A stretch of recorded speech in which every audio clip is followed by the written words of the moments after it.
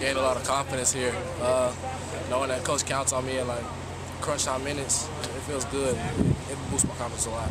I, I felt disrespected that I was ranked so low. I, feel, I thought that I would come out higher, but knowing that people sleeps on me just gives me a lot more determination. I'm used to playing people like that, so it's no different. Every day in practice, we just battle all day, so it's nothing new here.